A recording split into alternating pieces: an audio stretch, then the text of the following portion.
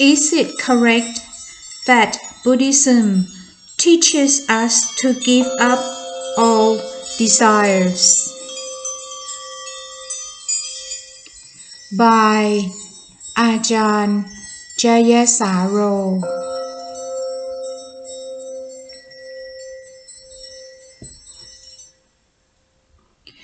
Buddhism distinguishes two kinds of desire.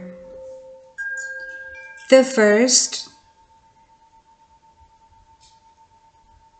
tanha, to be abandoned, and the second, chanda, to be cultivated.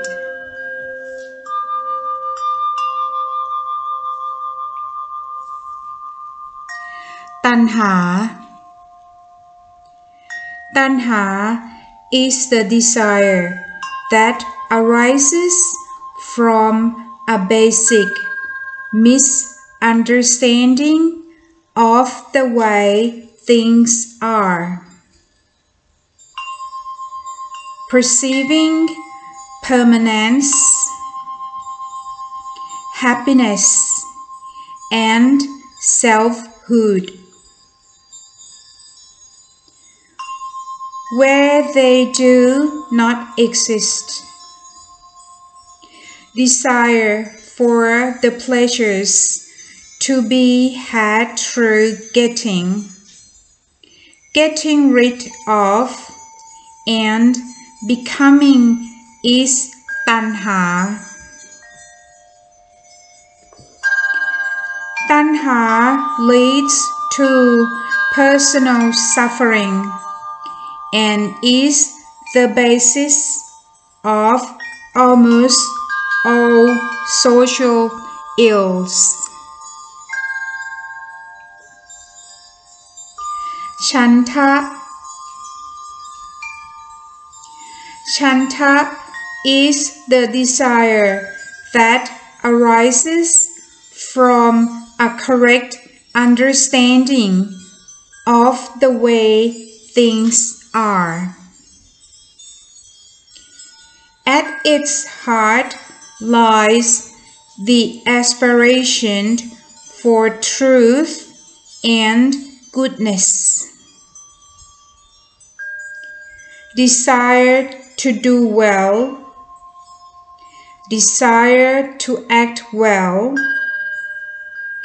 desire to act kindly,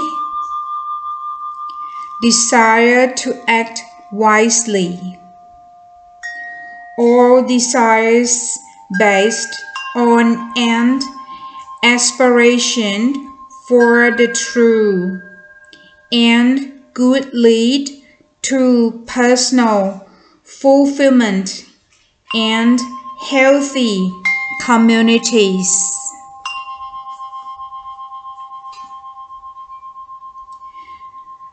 The distinction between Chanda and tanha is not philosophical but psychological.